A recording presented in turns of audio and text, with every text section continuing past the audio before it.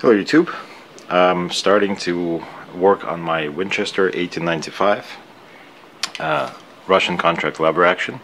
Here's the rifle as I got it. As you can see it's been heavily sporterized. It's missing quite a few parts. The barrel was actually shortened, which will prevent me from restoring it to the true original configuration, but I'll do my best to make uh, a shorter version of the musket. The rear sight was replaced and I'll be replacing it back with a with an original rear sight. Um, it'll be kind of challenging because one of the screws here is uh, a wrong screw. The forend was shortened, uh, which is quite common in sporters. The buttstock was uh, seemed to have been an original buttstock that was just reshaped. I don't know why someone would do this, but uh, this is what it looks like now. It's got some white inlays in it, and uh, this this shape in the back is really uncomfortable for me to use. So uh, definitely has to go, and I'll be using a reproduction buttstock that is part of the set that I got from Gunville. Here you can see that the charger guides are missing on the rifle, which are very specific to the Russian contract, uh, contract Winchester 1895 uh, musket.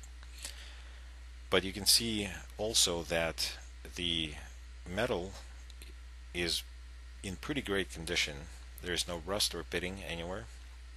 So um, in this video, what I'm going to be showing you is that I've already located quite a few parts, and I'm going to show you those parts. Um, I've also started to fit uh, the reproduction buttstock to this rifle. So I'll show you that in the video and how I actually went about it. So stay tuned.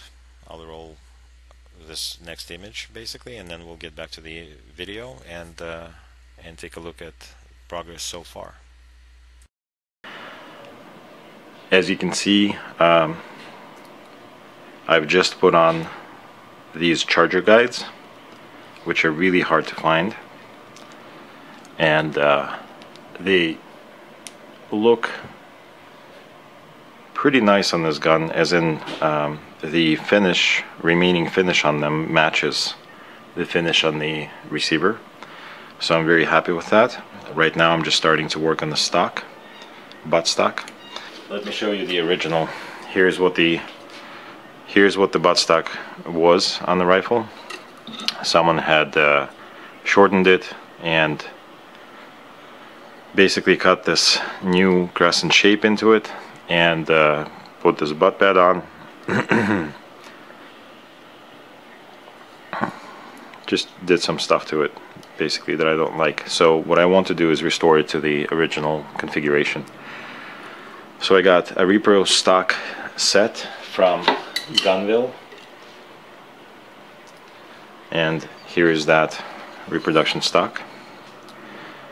It has a lot of extra wood on it, so I'm going to have to do a lot of shaping. What I've done so far is uh, work on getting it fitted to the rifle and I think I'm getting pretty close as you can see hopefully here there is the imprint of the receiver on the front here and so far what I've done is kind of make sure that at the rear the receiver doesn't touch or contact uh, the buttstock which I think is the proper way to fit it. Let me just show you how it fits currently.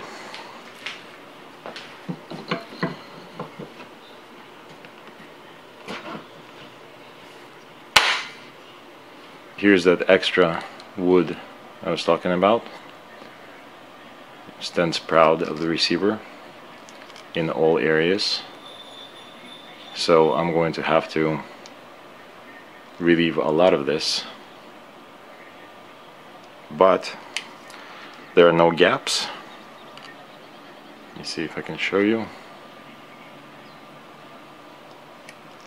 Uh, that black stuff you see on the receiver at the buttstock is the uh, inletting dye. So all of that wipes off. It's just this oily, greasy, black substance. So it wipes off very easily. Again, no gaps anywhere. Me take the buttstock off.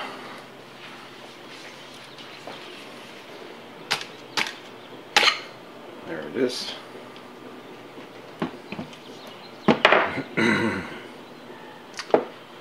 So that's one. Um, I wanted to show you also all of these hard to find parts um, that I was able to gather.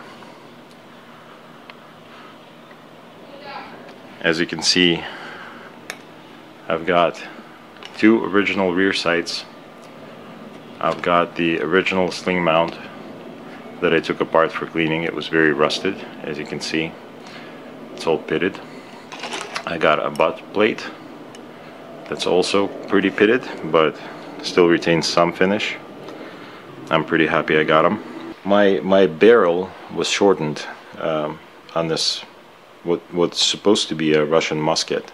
It's supposed to be a 28 inch long barrel. The forend I got. I'm not going to take it out of the bag, but you can see that right now the length of the forend even extends past my my uh, barrel. So I'm gonna have to cut it back to about here in order for me to be able to use it on this rifle and still have the barrel bends um, on it. So very smooth action, very nicely done. It's a great rifle. So chambered in 762 by 54R, which is a Russian cartridge that is used in Mosin Nagants, SVTs, uh, SVDs. What you do is use very little of it. I usually use only what's on the cap. Then I'll just apply it very sparingly on all areas of the receiver that I'm interested in seeing if uh, if my buttstock is going to touch them. And like I said it wipes off super easy so especially with oil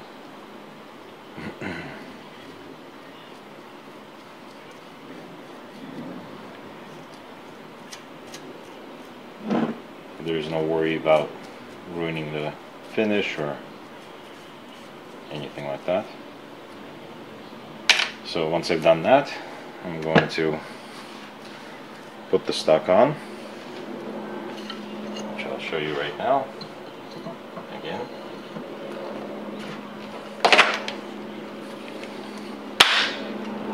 Alright. so the stock is now on. Now we're going to take it off.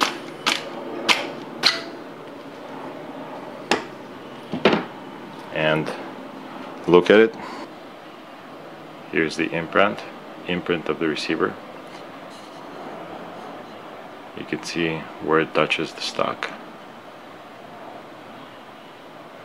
And I can actually see a bit of it touching in the back here. So I'm going to relieve that a little bit what I would do is use the gouge and try and remove it basically from here this section from this section. I don't want to take the flats. I don't want to do anything on the flats because I think that's where the receiver should be tight. And uh, I use Riffler file rasp this one that comes in a set. You can see this curvature actually does allow you to get into some tight spaces. So I had to relieve this area of the buttstock because that's where the, the mainspring or the hammer spring sits. And uh, before it used to be too low so my, it would depress on the hammer spring.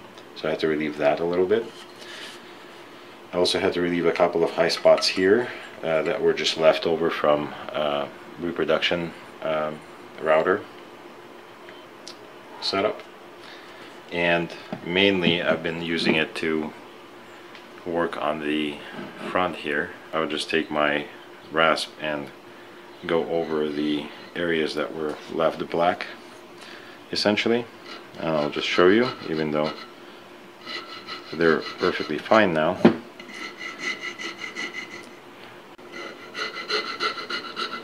The only reason why I'm still touching it is because I can see a lot more contact here than here so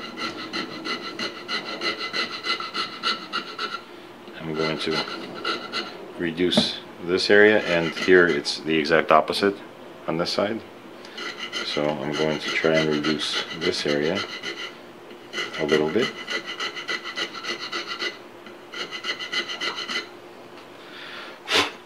But that's basically it.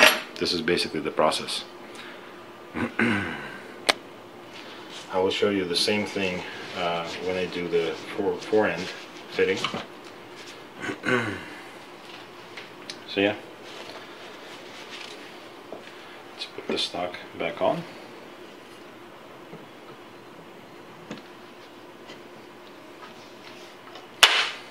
There you go